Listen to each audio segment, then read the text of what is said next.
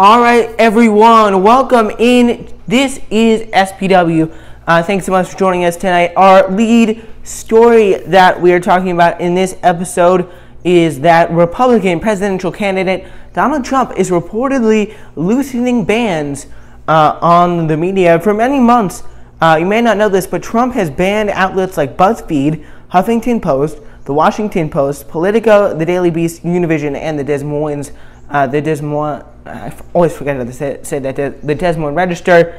Uh, and he's been doing that again for many months. But now the bans seem to have been uh, loosened a little bit on four of these outlets the Huffington Post, BuzzFeed, Washington Post, and Politico, uh, because they were listed, uh, or their reporters were listed in the uh, press pool uh, of the reporters who are scheduled to co- uh, cover Donald Trump's rallies in September. The ban was never razor tight, however, just to make this clear, as some ban, uh, banned media members were allowed to be uh, admitted into the campaign events as private citizens.